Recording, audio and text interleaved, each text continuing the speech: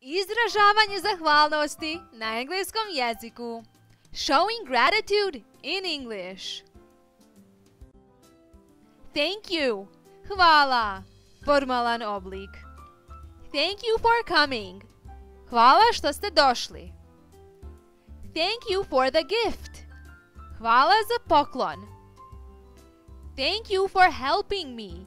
Hvala što ste mi pomogli. Thanks. Hvala. Neformalan oblik. Thanks, man. Hvala čovječe. Thanks for everything. Hvala na svemu. Thanks a lot. Hvala puno. Thank you so much. Hvala vam puno. Thank you so much for being there for me.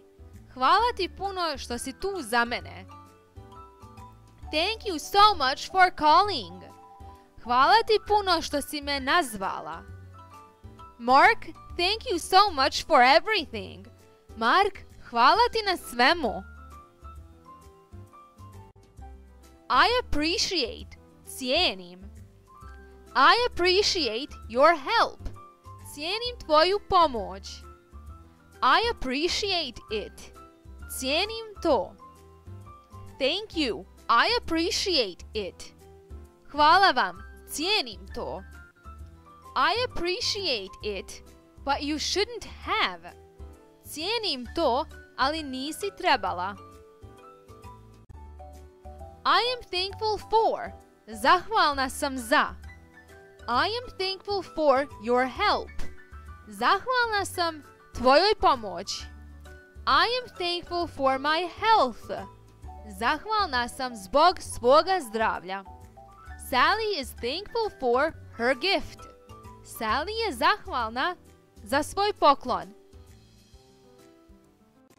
I am grateful. Zahvalna sam. I am grateful for this food. Zahvalna sam za ovu hranu. I am grateful for your love. Zahvalna sam tvojoj ljubavi. I am grateful for this weather. We can go swimming. Zahvalna sam zbog ovog vremena. Možemo ići plivati.